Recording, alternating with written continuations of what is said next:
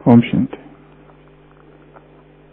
आज से प्रश्न उत्तर यह एक नई श्रृंखला आरंभ कर रहे हैं इसका नाम है प्रश्नों से पार तो पहले प्रश्न से आरंभ करते हैं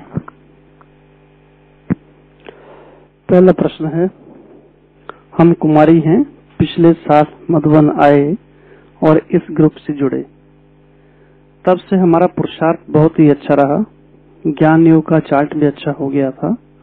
लेकिन जब से सेंटर पर रहने लगी तो सेवा के विस्तार में इतना बिज़ी हो गए कि अमृत वेले से लेकर रात्रि तक कभी 11 कभी 12 बज जाते। जिससे ज्ञान युक्त तो जैसे छूट ही गया। हमारे बड़े बहन जी बहुत रहम दिल हैं। जब सेवा नहीं रहती तो सवेरे पाँच बजे तक उठने की छुट्टी है। फिर भी उठने के बाद पश्चाताप होता है। हर संभव प्रयास करते हैं। अगर चार बजे भी उठे तो अमृत वेला फ्रेश और पावरफुल नहीं होता। व्यर्थ संकल्प ज़्यादा चलते हैं। हमने सोचा कि सेंटर पर हमारा पुरुषार्थ नहीं हो रहा है, इसलिए अब हम घर पर, घर में आ गए कि घर जाकर पुरुषार्थ करेंगे। लेकिन घर जाकर जाकर भी वैसा ही हाल है। कृपया हमारी सहायता कीजिए। ये पहला प्रश्न है। प्रश्न ये है कि कुमारी है, पहले वो सेल्फ ग्रुप से जुड़े थे। अच्छा पुरुषार्थ हुआ। यहाँ से जाने के बाद वो सेंटर में गए। सेंटर में कुछ दिन अच्छा पुरुषार्थ हुआ, लेकिन सेवाओं के विस्तार में इतना चले गए कि जैसे पुरुषार्थ छूट गया। ज्ञान योग में रुचि जैसे कम हो गई उनकी। सेवा में सेवा के विस्तार में चले गए। जो निमित्त टीचर बहन है, वो भी इतना उसके ऊपर उनके ऊपर ध्यान नहीं देते हैं। तो जैसे उनको पश्चाताप होने लगा। अगर सवेरे चार बजे उठे तो भी अमृत फ्रेश नहीं। फिर सोचा घर जाकर पुरुषार्थ करेंगे, लेकिन घर जाकर भी जैसा था, जैसे को तैसे। अभी सहायता क्या की जाए? अब हम सबका विचार निकलेगा। ओम शांति। तो क्या किया जाए? ये किसी एक व्यक्ति की समस्या नहीं है। जिस, जो प्रश्न आया है, एक तो जीवन है सेवा केंद्र का, एक है घर, एक है मधुबन। अगर ये तीन चीज़ें ली जाए तो अगर सेवा केंद्र की बात की जाए तो नाम ही है सेवा केंद्र, अर्थात सेवा। नाम ही है सेंटर, सेवा केंद्र, अर्थात सेवा। और सेवा केंद्र पर रहना है तो वहाँ पर सेवा तो करनी पड़ेगी। और सबसे महत्वपूर्ण बात, सेवा केंद्रों पर जो सेवा की जाती है, उसकी एक्स्ट्रा मार्क्स है।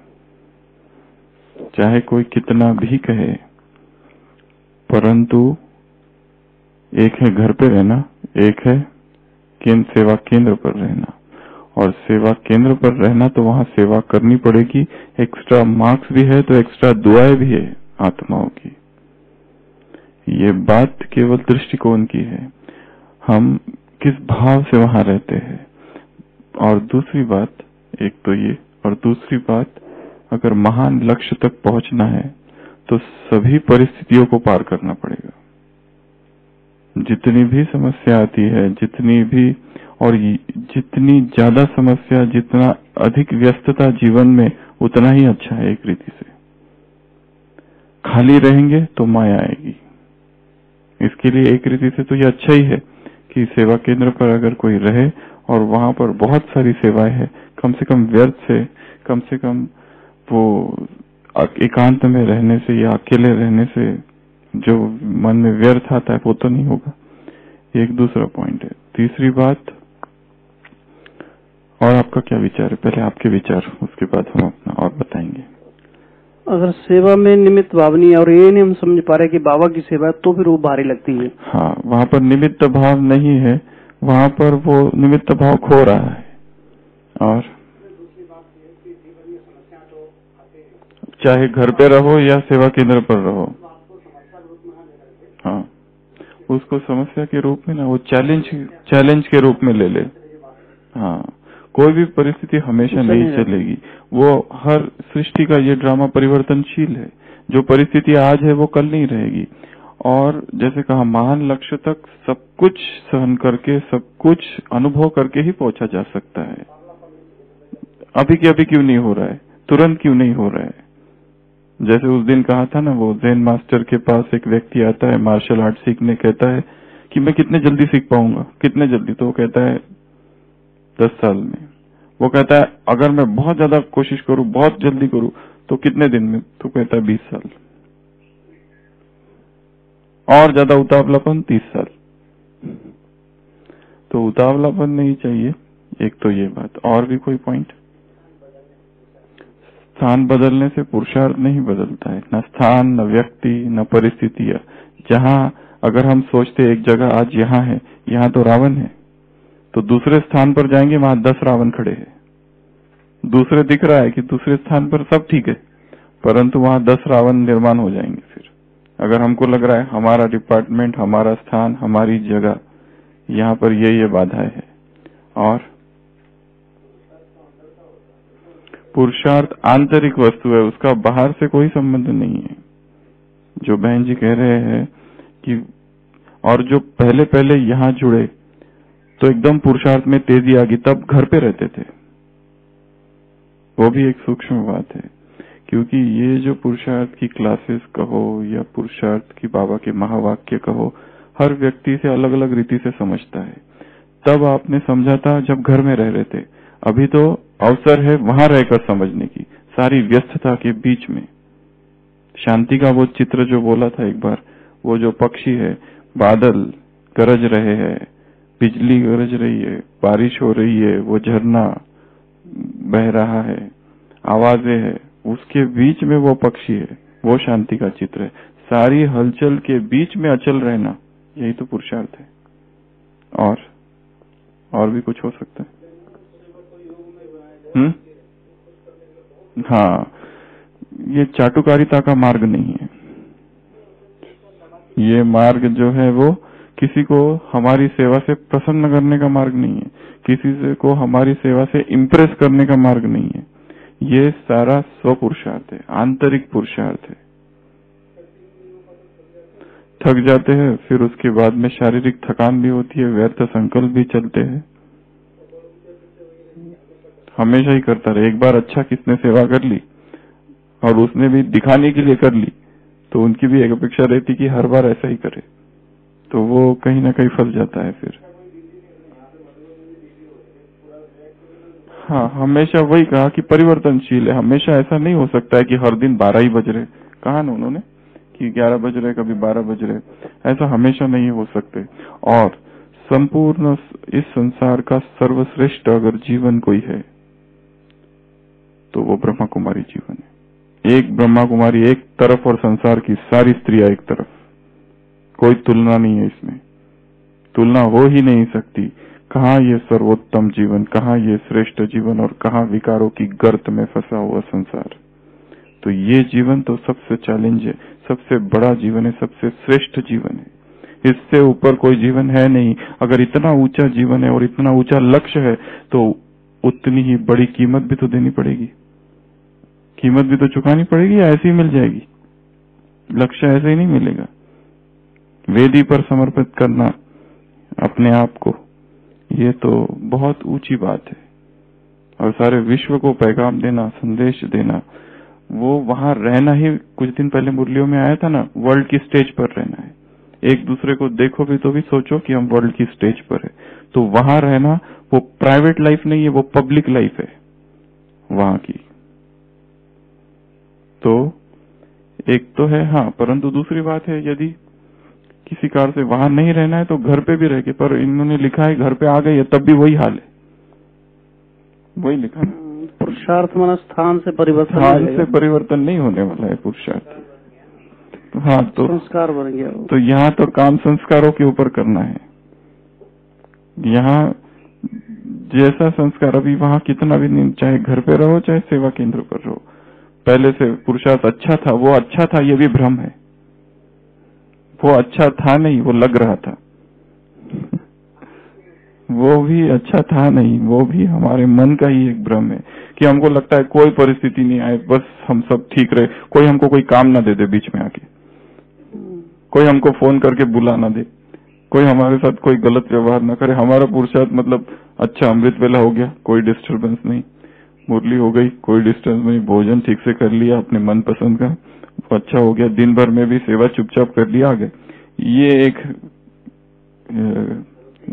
ये रूटीन के हिसाब से, ये इस इस कंफर्ट जोन के बाहर गए नहीं है। एक दूसरा है जिसमें चैलेंजेस है। चैलेंजेस ही चैलेंजेस है, निरंतर चैलेंज कुछ ना कुछ नया, कुछ ना कुछ नया। कोई ना कोई बीच में एकदम विघ्न बन के आ रहा है, पर वहाँ से आत्मा की उन्नति भी तो हो रही है। जितने सम्राट बने हैं भारतवर्ष में, वो सारे ऐसे ही नहीं बने जितने अधिक संघर्ष, उतने बड़ा सम्राट बना है। तो संघर्ष के मैदान को छोड़कर जाना, पलायनवाद का मार्ग बाबा ने नहीं सिखाया है। ये भारतीय नारी कहो या ये ब्रह्मा कुमारी जीवन ये जो जीवन है, सर्वश्रेष्ठ जीवन है। विवेकानंद ने कभी कहा है कि एक समय आएगा कि भारतीय नारी श्वेत वस्त्र धारण करेगी और सारे विश्व में परमात्मा पैगाम देगी। कब लिखा है ये? 2019 टू के पहले। मृत्यु से पहले। बाबा तो भगवान बाद में आए। Indian lady a day will come when Indian lady clad in white shall spread the message of God the world across नहीं, वो कहा है उन्होंने, एक जगह कि ऐसा समय आएगा, एक भविष्यवाणी। ये भारतीय नारी श्वेत वस्त्र पहने हो, जटाएँ खुली हो, तुम राज ऋषि हो, सेवाएँ होती रहेगी। तो वहाँ रहकर जो जीवन है, वो है सर्वश्रेष्ठ जीवन, पर उसमें चैलेंजेस भी उतनी ज़्यादा है। बहुत ज़्यादा चैलेंजेस है। पर कहा ना एक्स्ट्रा मार्क्स भगवान की मदद, दुआएँ, ये भी वहाँ है। जो कि उधर नहीं है। वहाँ वो परिस्थितियाँ सिखाएगी सब कुछ। इतना ठोकर खा खा के, खा खा के बहुत सारा सिखाएगी। पर एक है कि वहाँ जाते ही व्यर्थ में ना लग जाना है। नहीं तो ये पुरुषार्थ भी छूट जाएगा। वहाँ सेवा करते करते ये स्मृति, ये स्मरण निरंतर रहे कि मैं यहाँ क्यों हूँ। इसके लिए पुरुषार्थ आंतरिक है। खुद ही पुरुषार्थ की लहर फैलाए वहाँ पर। स्वस्थिति से परिस्थिति परिवर्तन करना क्या है? यही है ना? और भी कुछ कह सकते बहन को?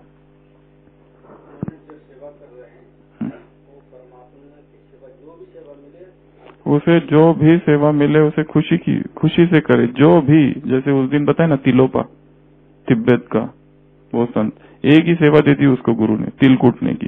कुटता रहा कुटता रहा कुटता रहा, सारी उम्र कुटता रहा। और उत्तराधिकारी बनाया उसको एनलाइटेंड तो सेवा दी किसने? किसकी सेवाएँ है? व्यस्त है। चलो बारह भी बज रहे, मान लिया। परंतु वो बारह बजने में सोने में भी आनंद है। अगर हमको, अगर ऐसा कोई कहे तो वो जो, क्योंकि वो जो कुछ कर रहे स्व के लिए निस्वार्थ है सब कुछ। सेवाएँ है, महानता है उसमें, दिव्यता छिपी है उसमें। तो सेवा करते करते फरिश्ते बन जाएँगे। और फिर, और हमारा सबसे पहले, हमारा सैद्धांतिक ज्ञान नहीं है थियोरटिकल नॉलेज नहीं है, हमारा प्राकृत प्रैक्टिकल व्यवहारिक ज्ञान है। अगर ये ज्ञान संडे की मुरली, कोई बस कहता रहे कि मैं मास्टर सर्वशक्तिवान हूँ, और युद्ध के मैदान में जाए नहीं, घर बैठे स्वयं को होशियार समझते रहे कि मैं बहुत ज्ञानी हूँ, मेरे पास ज्ञान बहुत है, ये ज्ञान की जो कसौटी है, वो है कर्म। कर्म में उसको अप्लाई करना है। जब तक ये ज्ञान दो प्रकार के धर्म, एक है सैद्धांतिक धर्म और दूसरा है व्यवहारिक धर्म। Theoretical religion and practical religion हमारा थेरोटिकल रिलीजन नहीं है कि जिसमें थियोरी सारी मुरलियाँ कंठस्थ कर ली, जान ली, समझ ली डिस्कस कर रहे और बाहर जाते ही फेल वो वाला हमारा मार्ग नहीं है। ये तो प्रतिपल चलो ज्ञान योग के लिए बहुत टाइम भी मिल गया। पर अप्लाई कब करेंगे? अप्लाई तो कर्म में ही करना है। चाहे घर में या सेवा केंद्र, चाहे मधुबन, कहीं पर भी रहो। चाहे मधुबन, सेवा केंद्र, घर या ऑफ़िस कोई भी स्थान हो अप्लाई कैसा कर रहे हम, कितना उसके लिए पुरुषार्थ कर रहे वही प्रश्न है, वही मुख्य बात है। और भी कुछ? समर्पण भाव से करना है हर चीज़। और? हिसाब किताब कहीं पर भी जाओ, छोड़ने वाला नहीं है। हॉस्पिटल का एक भाई था ना, वो कितने सालों से हॉस्पिटल रहता, पाँच दिन के लिए घर गया, वो गाय को कहीं लेके जा रहा था और गाय ने उसको मार दिया, सिंह मार दिया और हॉस्पिटल में पहुँचते ही थोड़ी देर में शरीर छोड़ दिया। तो देखो हाँ मधुबन में रह रहे परंतु हमारी मृत्यु वहाँ लिखी थी। तो कोई ये भी नहीं कह सकता कि मैं मधुबन निवासी और मधुबन में हूँ, बहुत अच्छा। पर हमारे मृत्यु का कारण, समय और स्थान, ये जो चीज़ें है, ये पहले से निश्चित है एक रीति से देख लो तो।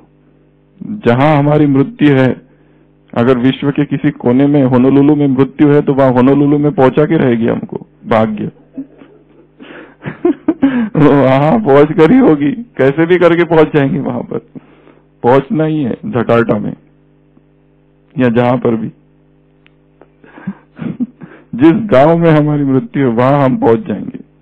काछोली फूलाबाई का खेड़ा, कोई भी गाँव हो, वहाँ पहुँचा देगा भाग्य, और वहाँ जिस कारण से होना है, वो भी होगा। दूसरा प्रश्न। और भी कोई प्रश्न है इसमें? और भी कुछ? सोमान से करे ज्ञान का अपना स्वयं का पुरुषार्थ करे। कोई, चलो, बारह बज भी रहे, पर अमृत वेला, दिनचर्या को सेट करना है, भोजन को सेट करना है, अपनी दिनचर्या खुद सेट करनी है।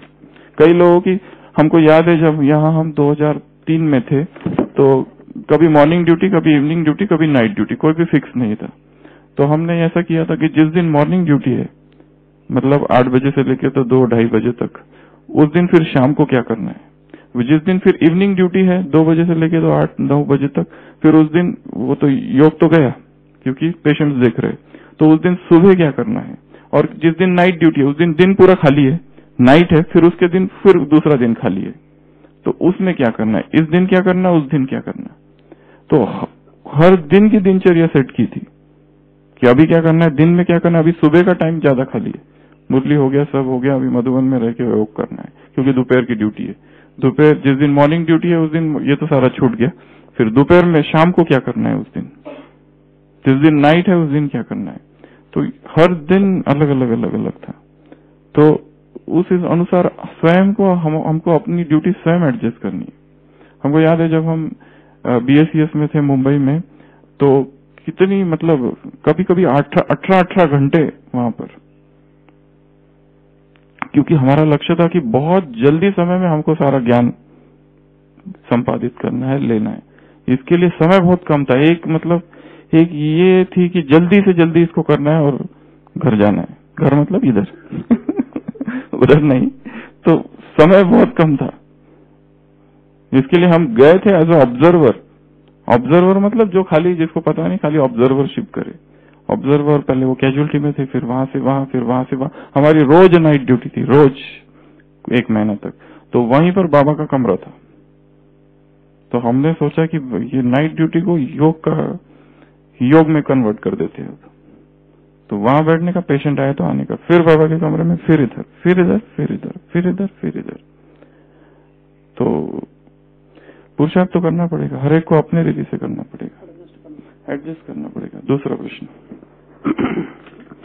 दूसरा प्रश्न है, मैं कुमार हूँ, तीन साल से ज्ञान में हूँ, पवित्रता मुझे बहुत अच्छी लगती है, लेकिन फिर भी महीने में दो तीन बार स्वपन दोष हो जाता है, क्या इससे मैं पूरी तरह से मुक्त हो सकता हूँ? ब्रह्मचर्य, इस जीवन की धुरी आधार है। यदि ब्रह्मचर्य खंडित हो रहा है, चाहे स्त्री या पुरुष तो ज़रूर कोई ना कोई श्रीमत का सूक्ष्म उल्लंघन हो रहा है। विकारी स्वप्न, बाबा ने इसके ऊपर भी मूल्य चलाई है, चाहे स्त्री हो, चाहे पुरुष हो।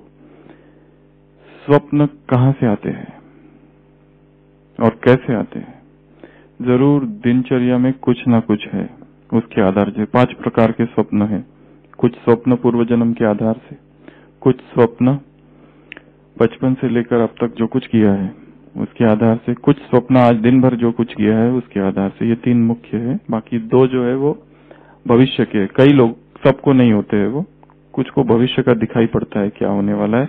और कुछ स्वप्न होते हैं पांचवे प्रकार के अति चेतना के। अति चेतना सुपर कॉन्शियसनेस के।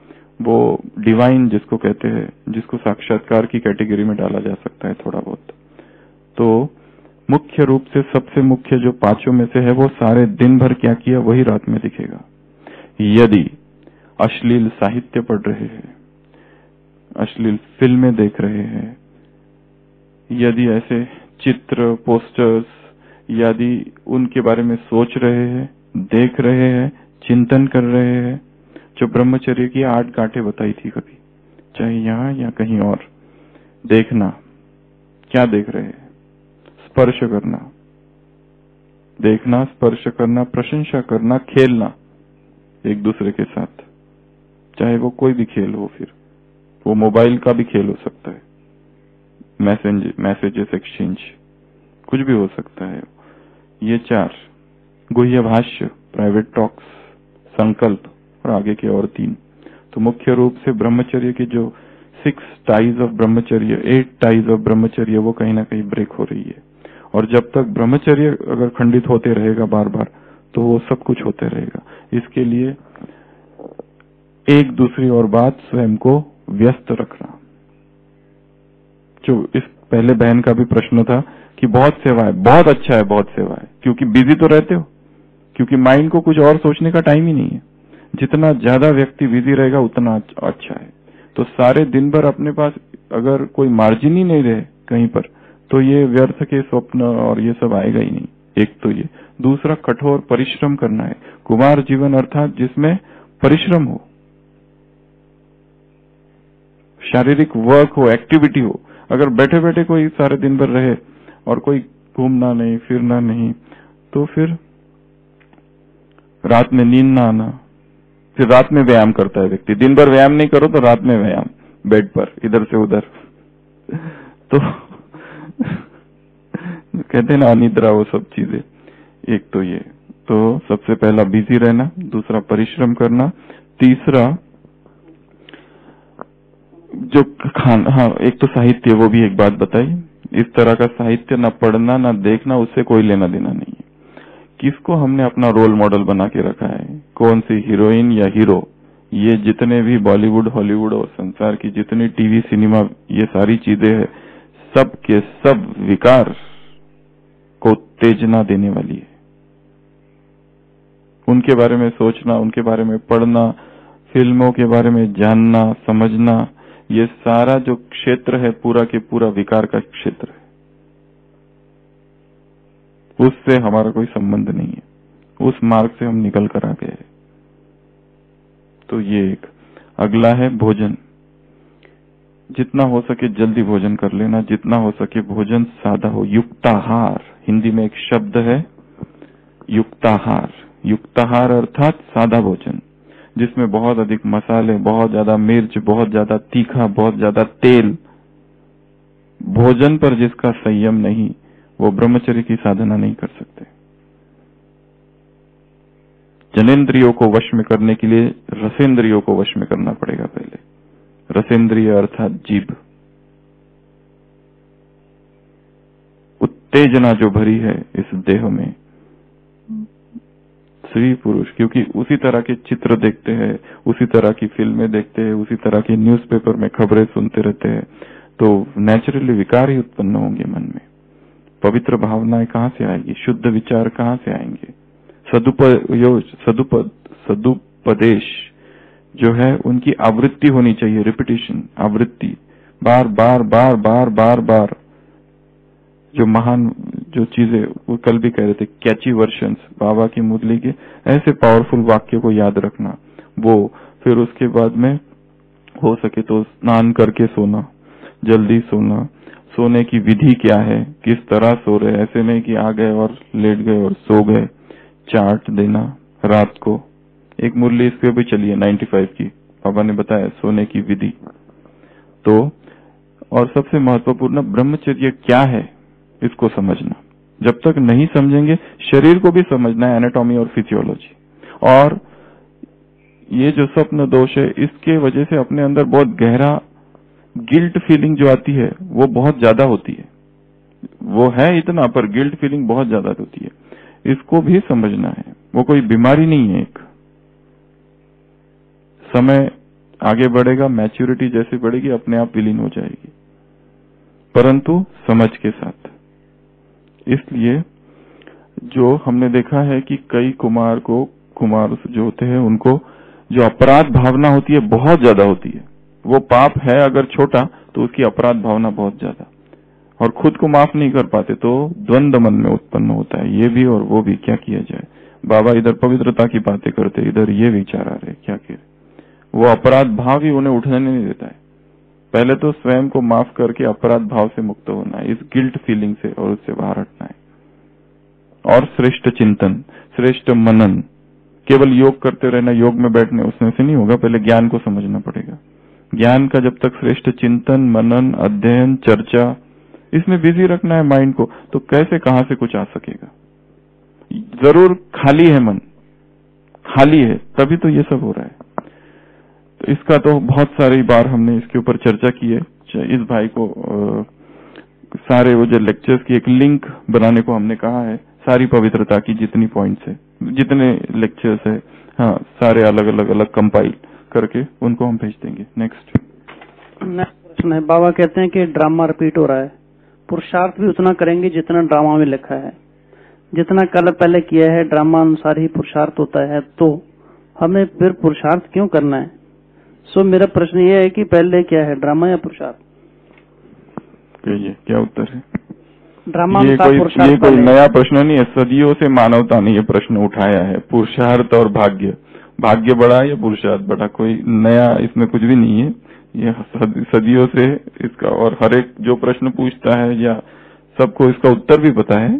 पर परंतु फिर भी क्योंकि महावाक्य आते हैं तो उसको पकड़कर हम उसका प्रश्न बनाकर उसको पूछना चाहते हैं। तो क्या उत्तर है? ड्रामा अनुसार पुरुषार्थ तो पहले ही है।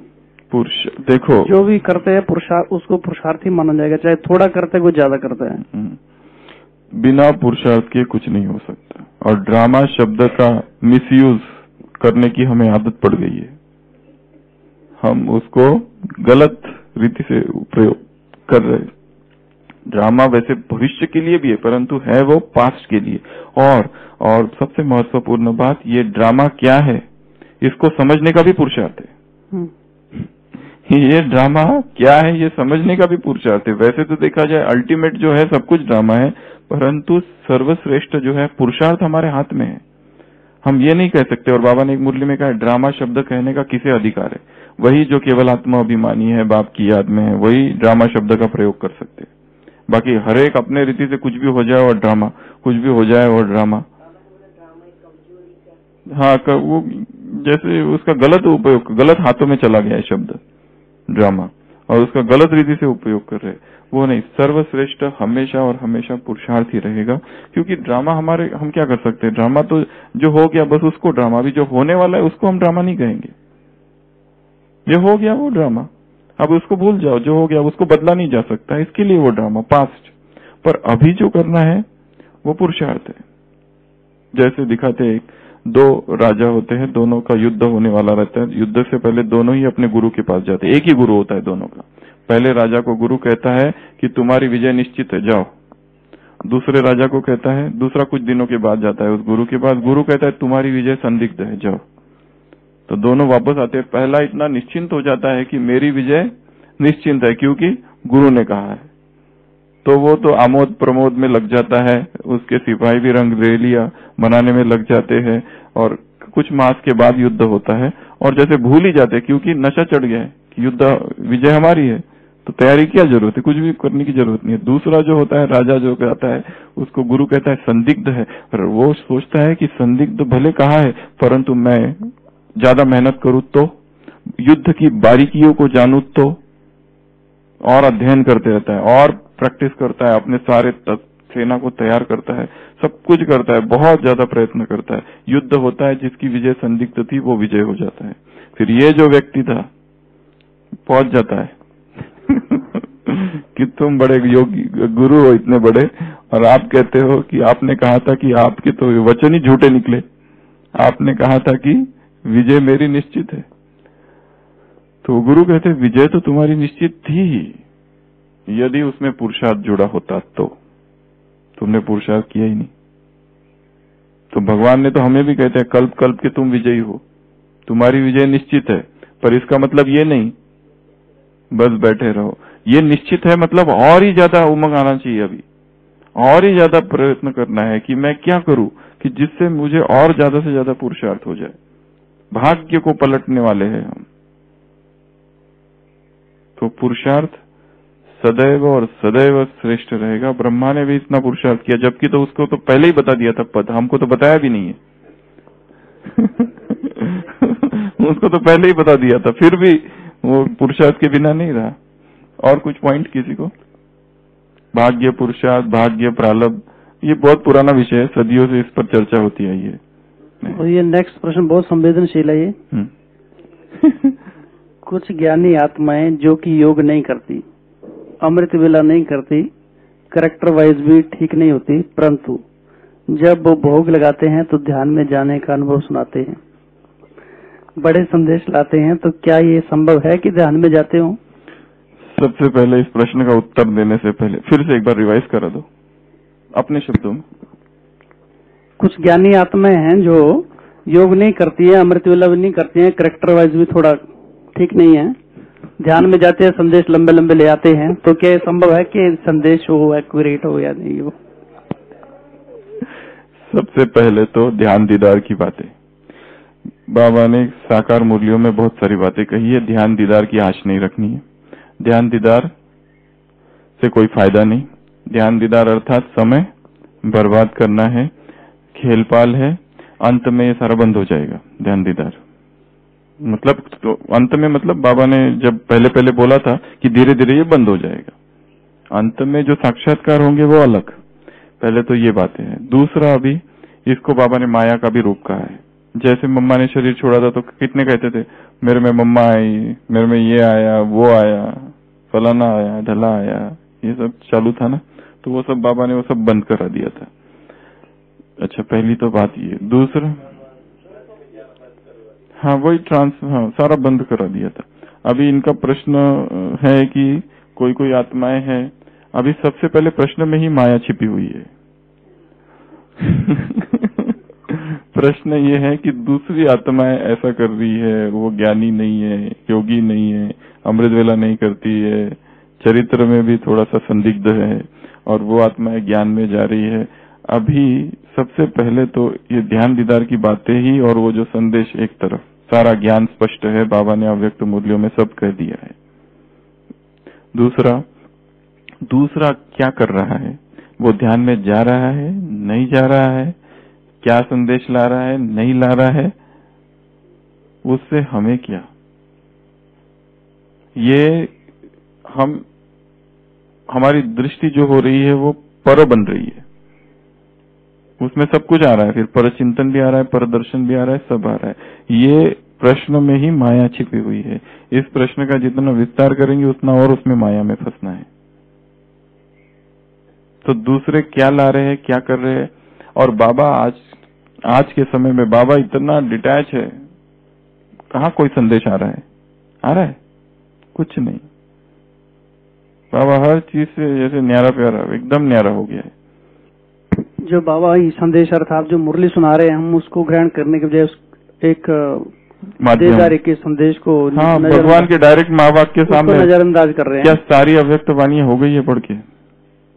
और या फिर गुलजार दादी के द्वारा जो भी संदेश आज तक आए वो सारे पढ़ के हो गए? अभी नीचे एक बुक बन रहे बन रही है नया एक भाई है प्रिंटिंग का। वो बना रहा है। जितने संदेश आज तक आए हैं बाबा के गुलजार दादी के द्वारा वो सारों का संकलन कर रहा है वो। कुछ कुछ मास में आ जाएगी शायद वो किताब। अव्यक्त संदेश, सारे, अब तक के। और जो भी वर्णन किया जाए, जैसे हम लोग अभी दस लोग हैं, दस लोग यहाँ से नक्की चले जाए, पंद्रह मिनट नक्की देखकर वापस आ जाए। हर एक को कहा क्या क्या देखा? सब अपना अपना अपने अपने हिसाब से सुनाएगा, भाषा कैसी है, शब्द कैसे है, ज्ञान कितना है, पूर्वाग्रह पूर्व अनुभव वो सारे मिक्स हो गए उसमें। तो वो वाली भी एक बात है। और दूसरा फिर भी उनका पार्ट तो है ना। वो जो आत्मा है उनको बाबा ने ही वो पार्ट दिया है। भाग है वो पार्ट है। उसमें अच्छा बुरे की बात नहीं है वो पार्ट है उनका। तो उनके पार्ट में भी उनको निर्दोष देखना। वो जो है वो निर्दोष है। ड्रामा में हर एक्टर निर्दोष है। हम क्यों उनकी कमियाँ देखें? जो हो रहा है वो सत्य है। ठीक है। करेक्टर उनका ठीक हो सकता है। हमारा कैरेक्टर हम सबसे पहले हम ये शब्द कहना कि इसका कैरेक्टर ठीक नहीं है ये ऑथोरिटी किसने दी है तुमको? हम्म। माना खुद का करेक्टर ठीक नहीं है जो दूसरे को ठीक देखते। ये जो पावर ये कहने का कौन कह सकता है ये? हाँ भगवान कह सकता है। वो अगर कह दे तो ठीक है। वो भी नहीं कहता वो तो दूसरी बात है। हाँ तो ये हमको किसने दिया है? जैसे लोगों, आजकल लोग ये करते हैं कि सबके क्या क्या दोष है? जैसे बड़े बड़े जो लोग हुए हैं आज तक संसार में, उनके भी दोष निकालने बैठते कि वो उसने मोहम्मद पैगंबर ने ऐसा था, जीसस क्राइस्ट का ऐसा था, बुद्ध ने ऐसे भी दोष थे उसमें। अभी निकाल रहे हैं ढूंढ ढूंढ के अभी बुद्ध में क्या दोष थे, वो जीसस क्राइस्ट बता सकता है, उसके उसके लेवल का व्यक्ति। हम नहीं। और भी, हमारा क्या अधिकार है? जो अगर हम बड़ों के दोष निकालने जाए हम अभी दस साल से बीस साल से है और कोई है इधर पचास साठ साल से। उसके दोष निकालने का काम वो जो उसके लेवल का होगा ना वो निकाले। हमारा कोई काम ही नहीं है ये करने का। हमने क्या समझा है उसको? कितना समझा है? वो भी नहीं निकाल रहे और हम निकाल रहे। वो दूसरी बात है फिर। और? ये तो मतलब स्वयं के करेक्टर पर ही हम एक दाग लगा रहे हैं। हाँ, संदिग्ध कर रहे हैं स्वयं का ही। परदर्शन है पर चिंतन है व्यर्थ है। हमें क्या करना है ये सब चीज़ों के बारे में? और कि कैरेक्टर अच्छा नहीं है ये कहना ये हमें लगता है कि ऐसा नहीं कहना चाहिए। चलो होगा भी सपोज़ होगा होगा भी। परंतु उसका जैसे किसी अंधे व्यक्ति को कहे कोई अंधा हो तुम हो लंगड़ा हो उसको अच्छा नहीं लगता है।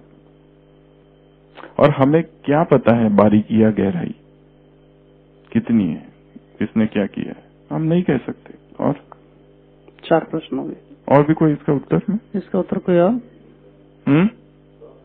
हाँ वो उसको निमित्त बनाया ना वो इसके लिए निर्दोष होकर उसके पाठ को देखना है। ठीक है? ओम शांति। और ऐसा नहीं कि जो भी संदेश लाते हैं क्योंकि चलो उनका कैसा भी जीवन हो अपना परंतु भगवान के द्वारा जैसे हम बहुत सारी बार शरीर छोड़ती आत्माएँ उनके लिए जो बहुत सारी बातें उसमें सत्य होती है। तो हम ये नहीं कह सकते। हर एक को भगवान ने पाठ दिया है वो। तो हम कौन है उसको उसको ये करने वाले? हाँ किसने कहा है मानने के लिए? चले जाओ, मत पढ़ो, मत सुनो, अपने मार्ग से जाओ। पर हम उसके ऊपर टिका टिप्पणी करें, ये वास्तव में, ये परचिंतन की श्रेणी में आता है। उसको साइड सिंह समझ लेना। ओम शांति।